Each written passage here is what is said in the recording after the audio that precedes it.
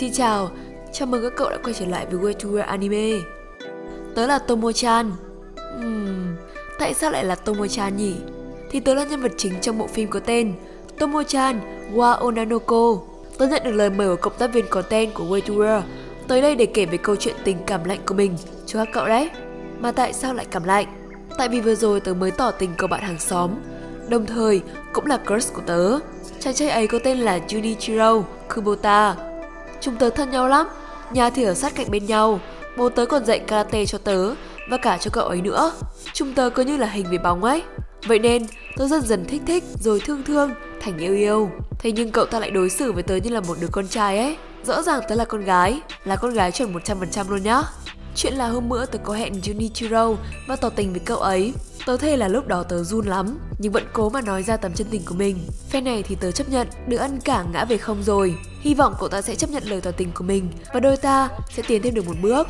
Đúng là tiến lên được một bước thật, thế nhưng mà đó lại là trên tình bạn, dưới tình yêu, cụ thể là tình đồng chí. Junichiro ngông nghếch sau khi nhận được lời tỏ tình của tớ, cậu ấy liền nói rằng Sao không nói ra sớm hơn à Tomo? Tớ cũng thích cậu lắm bro ạ. À. Tiếng gọi bro đó khiến tớ kiểu như bị ngã từ trên độ cao 1000 mét đấy. Lúc này đây, Tomo tớ đã nhận ra rằng Hóa ra cái đứa mà tớ thích thầm, nó coi tớ chẳng khác gì một thằng đàn ông cả. Tớ chưng hửng và còn rất bực mình vì không biết tớ đã làm sai cái gì và tớ đi hỏi ngay cô bạn thân của mình. Mi sư dư liệt kia một đống thứ mấy con bé đã chứng kiến rất nhiều chuyện từ trước tới giờ. Nào là cách nói chuyện chẳng có tí yểu điệu nào mà lại còn có cái giọng hào sảng như con trai. Mà đấy là nói giảm nói tránh rồi đấy nhá. Chứ nhiều lúc còn rất lỗ mãn. Cái nét cũng rất đàn ông khi hở tí ra là dùng vũ lực. Tuy nhiên vì tiếp xúc từ lâu nên Misuzu biết rằng Tomo này là gái 100% chứ chẳng phải đàn ông. Nhỏ cũng cho rằng tớ nên thử được cách ăn nói một chút sao cho nhẹ nhàng uyển chuyển hơn. Thấy cũng hay, nên ngay sau đó trong khi đi mua đồ ăn với Crush, tớ thử liền. Ấy vậy mà tên Crush kia lại nói rằng tớ ăn nói chẳng khác gì ông già, rồi còn cười ha ha. Tức mình tớ thụ cho phát, rồi cả hai lao vào đánh nhau như con thiêu thân. Về nhà thì bố còn mắng tớ, tại sao lại để thua Junichiro? Hai, bố tớ khiến tớ cảm thấy bản thân men lì vãi, chẳng có tí con gái nào hết. Cũng may là hôm sau anh hàng xóm xin lỗi tớ rồi. mi sư dư sau đó còn cố vấn thêm cho tớ rằng là có gì hai đứa sao không thử ăn chung cùng nhau. Tớ ngại lắm, vì như thế chẳng khác gì một cặp tình nhân, mà trong khi chúng tớ đã đến được bước đó đâu. Giúp người thì giúp cho chót, Misuzu liền hùng hổ tiến tới chỗ Junichiro và đề nghị ăn trưa, dù cả hai chẳng khác gì chó với mèo. Mọi thứ cũng chẳng tiến triển thêm được bao nhiêu sau buổi ăn trưa căng thẳng đó. Chiều hôm đó đi học về thì mắc mưa và cả Junichiro và Misuzu đều không mang ô. Tớ chú ý dù cả hai đi chung, nhưng rồi Misuzu đẩy tớ đi cùng Junichiro, còn cậu ấy về sau. Chắc con nhỏ chờ trai qua đón. Thế nên tớ về luôn cùng Jun. Nhưng mà các cậu biết đấy, con gái đi chung ô với con trai, nó khá là ngại, kiểu bỗng dưng tiếp xúc gần ơi là gần. Tớ cũng thế, ngại gần chết nên đi cách xa ra. Junichiro thì tiến tới hỏi Sao đi xa thế? Đúng là tên ngốc Tớ đã biện ra vài lý do Nhưng cứ sát tới Rồi bỗng dưng Chẳng hiểu sao lại chạy biến về nhà trước Hôm sau thì tớ có buổi tập karate Tại đây, tớ có hỏi anh senpai của đội là Misaki về sự nam tính của bản thân. Anh ấy kêu tớ bình thường đã rất thu hút rồi, chẳng phải thay đổi gì đâu. Sau đó thì tớ còn được mấy đứa con gái thích thầm Misaki Senpai nhờ làm cố vấn tình yêu vì hai đứa nó khoái Senpai gần chết mà chị em phụ nữ thì phải giúp nhau rồi, thế nên tớ giúp luôn. Chuyện tình của tớ chẳng có chút tiến triển gì cả. Hôm sau thì tớ lại đi học cùng anh bạn hàng xóm. Hôm đó, tớ còn bị sàm sỡ bởi một tên loser cơ. Lúc y tớ muốn quay lại đấm cho hắn mấy phát, nhưng Junichiro đang ngồi đó. Cậu ấy lại thấy tớ nam tính hơn thì chết. Đang không biết phải giải quyết làm sao, thì tự dưng Junichiro vọt lên, tóm luôn tên biến thái. Cậu ấy liếc mắt một cái là đã biết hết rồi, đã thấy còn tống tên đó cho cảnh sát nữa. He, tự dưng được anh hùng cứu mỹ nhân. Trong lớp lúc này xuất hiện thêm một chiếc kẹo bông gòn. Y tớ là Carol, Cậu ấy là học sinh mới chuyển tới, đồng thời là em họ của Misaki Senpai. Cậu ấy nổi tiếng lắm vì trông cậu ấy thật xinh đẹp và nữ tính. Điều đó làm Tomo tới đây muốn tiếp cận xin mì kíp lắm luôn. Thế nhưng ban đầu Carol lại thể hiện thái độ ghét tớ, còn cứ dính lấy Junichiro khiến tớ ghen nổ động đỏ mắt luôn. Đang không biết giữa hai người có chuyện gì, tớ cũng đánh bạo hỏi luôn Junichiro xem có thích Carol đó không, để tớ còn tính kế trừ khử. May sao Junichiro ngốc nghếch, không thích cô nàng. Hôm sau Carol chẳng hiểu lý do gì lại chạy đến xin nhập hội của tớ và Misuzu nên tớ cho tham gia luôn. Các cậu khỏi thắc mắc nhá, anime mà, chơi chung với nhau mất có một giây thôi. À cũng ở tầm này thì tớ phát hiện ra Junichiro và Misuzu từng hẹn hò yêu đương. Trong 3 ngày sau đó thì cả hai họ đừng ai nấy đi vì Junichiro cứ tha lôi Misuzu đạp xe chạy vòng vòng. Chuyện tình của tớ thật dở dang vì chẳng có thêm chuyện gì hay ho nữa. May mà tớ còn có hội chị em chơi chung. À mà tới tận tập này rồi thì Jun và Senpai Misaki mới gặp nhau lần đầu tiên đấy. Thế nhưng mà ngay sau đó họ còn trở nên thân thiết hơn, thậm chí là còn về chung nữa cơ. Mà cũng tại tập này thì diễn biến câu chuyện sẽ tiến thêm một chút đấy. Cụ thể là trong kịch bản thì tớ đã rất lâu rồi không đi chơi cùng với Junichiro. Vậy nên Misuzu đã khuyến khích tớ nên rủ cậu ta đi. Crush của tớ đi thật. Ngay sau đó thì hội chị em có một buổi shopping. Vì tớ không quen mặc đồ bánh bèo nên cả hai nhỏ bạn thân đã chọn hộ tớ một bộ đồ vừa khiến tớ thoải mái lại không khiến tớ thấy sượng chân khi mặc. Buổi hẹn hò hôm đó, tớ cùng với Junichiro hầu như đến tất cả những nơi đã từng đi, từ sân đánh bóng, chơi bowling và cả đi hát karaoke nữa. Junichiro đã rất tận hưởng buổi đi chơi. Tớ thì ban đầu hơi uể oải một tẹo vì nó không được như tớ kỳ vọng. Nhưng sau khi biết được cảm xúc của Jun, tớ chẳng ngần ngại mà enjoy cái moment này luôn.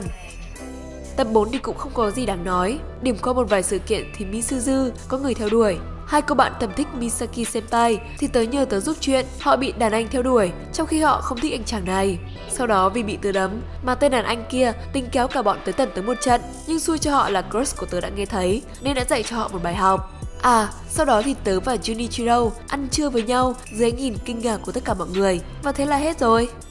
Hôm sau thì Carol có rủ tớ và Misuzu đến nhà chơi, lại còn cẩn thận vẽ hẳn bản đồ nữa. Chu đáo như vậy thì đương nhiên là tớ không thể không tới được rồi. Nhà Carol đẹp lắm, tớ và Misuzu đến có thấy hoa mắt luôn cơ.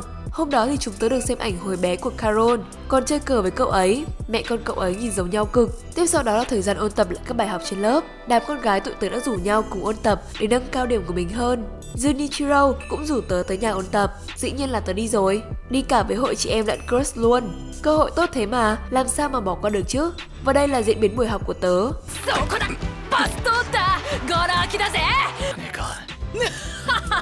ゲームだって負けねえぞタ ッチあーまた負けた俺言うなって言ったろ悪い悪い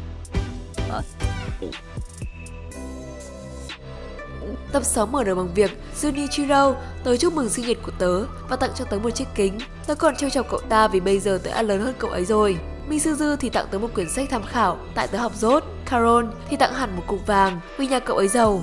Cuối tuần thì đám con gái có rủ nhau tụ tập một bữa, họ còn make up và chọn trang phục để cho tớ mặc thử, để tớ trông nữ tính hơn. Xong xuôi thì nhìn tớ trông cũng ổn, họ còn nhận nhiệm vụ đi mua kem cho cả đám. Trong lúc tới cửa hàng tiện lợi thì mọi ánh mắt đều đổ dồn vào tớ, khiến tớ hơi ngại. Và các cậu biết gì không? Junichiro cũng đang ở đó. Thật sự là lúc đó tớ ngại khi phải đối diện với cậu ta lắm, nhất là trong bộ dạng con gái như thế này. Thế mà chẳng hiểu sao, sau khi bị vấp té và được cậu ta đỡ lên, tớ lại bạo gan, xin anh hàng xóm này đi cùng một đoạn.